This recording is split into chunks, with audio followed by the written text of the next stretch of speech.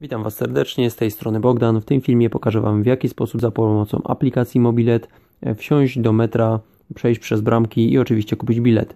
Tutaj pozdrowienia ode mnie dla Was z Warszawy, z ostatniego wypadu, gdzie testowałem aplikację Mobilet.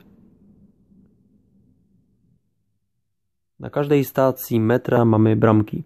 Przez bramki, żeby przejść, trzeba mieć bilet albo z lewej strony na przykład przejść tam, gdzie mamy wózki dla wózków przejście, ale innym wypadku nie możemy tamtędy przechodzić. W związku z powyższym na stacji przed bramkami po prawej stronie zawsze jest taka biała z czerwonym elementem, taka tabliczka, z której możemy sobie wysunąć e, kartonikowy bilet, który umożliwia nam przejście bezpłatne przez bramki metalowe.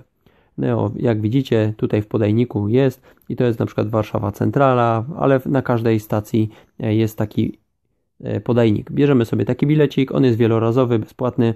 Jeżeli korzystamy z aplikacji Mobilet, Skycash, MPay, e, to bez problemu za pomocą tego przechodzimy. Oczywiście zanim przejdziemy i wejdziemy w podziemie, trzeba kupić bilet smartfonem. Oczywiście, jeżeli nie chcemy, zawsze możemy kupić w tradycyjny sposób w kiosku albo w biletomatach, które są e, zazwyczaj przed bramkami. Kartą lub gotówką oczywiście.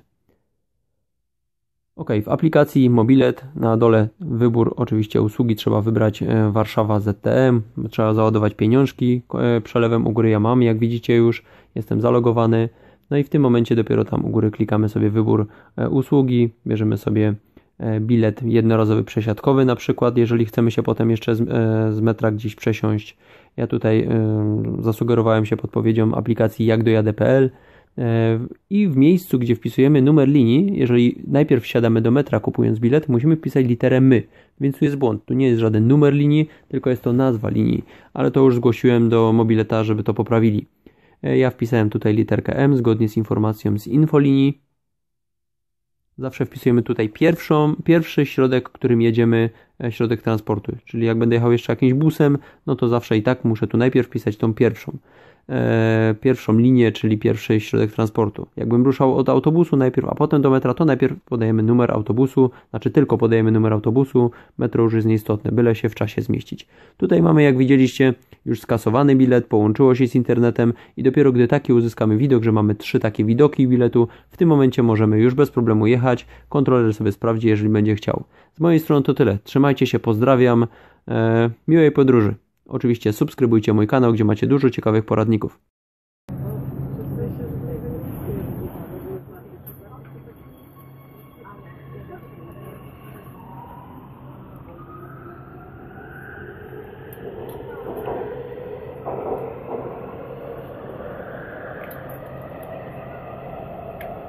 Następna stacja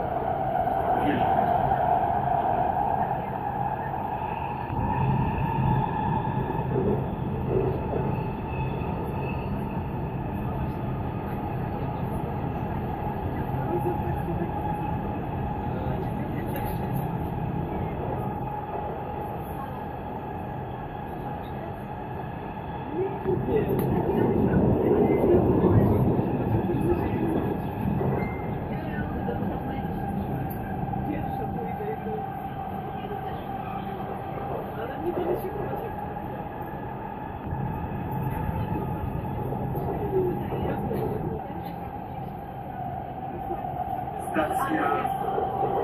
Wierzba.